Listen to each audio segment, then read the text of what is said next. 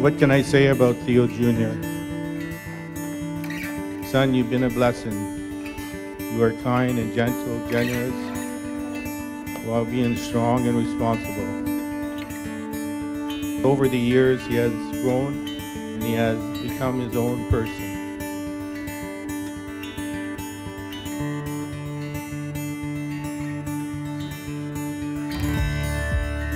Madison, your kindness, confidence, and compassion are truly inspirational to us. Growing up, your wisdom and maturity were always beyond your years. It started in her high school and university years that when Madison was stressed, she would clean the entire house from top to bottom. She learned this was therapeutic for her. Needless to say, I had the cleanest house on the street. Not only did I lose a daughter, I lost my housekeeper.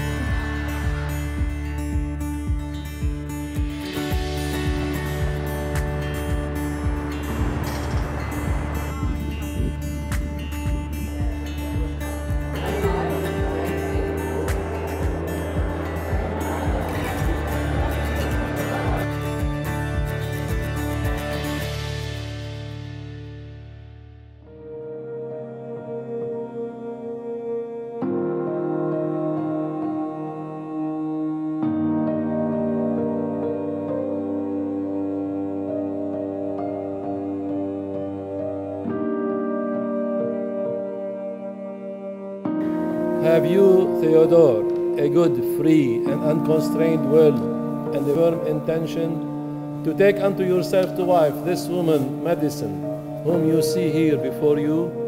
I have. Have you, Madison, a good, free, and unconstrained will and a firm intention to take unto yourself to husband this man, Theodore, whom you see here before you? I have. Παραφωνίζεται ο δούλος του Θεού Θεόδωρος, Την δούλην του Θεού Μάντισον, εις το όνομα του Πατρός και του Υιού και του Αγίου Πνεύματος.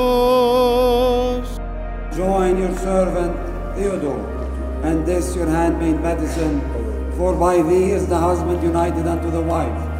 Unite them in one mind and one flesh, and grant unto them fair children for education in your faith and fear. For thine is the majesty, and thine is the kingdom and the power and the glory of the Father and of the Son and of the Holy Spirit, now and ever and to ages of ages. The servant of God Theodore is crowned unto the handmaid of God Madison, in the name of the Father and of the Son and of the Holy Spirit. Bless also these your servants, who through thy good providence are now united together in wedlock. Bless their goings out and their comings in. Replenish their life with good things. Receive their crowns into your kingdom, preserving them spotless, blameless, and without reproach unto ages of ages.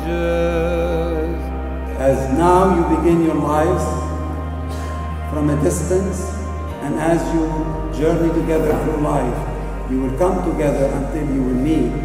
And as the story says, you would only have to look at each other. It is my honor to bless this wedding today and to marry you. May God bless you and give you all the good things that this life will give. Congratulations.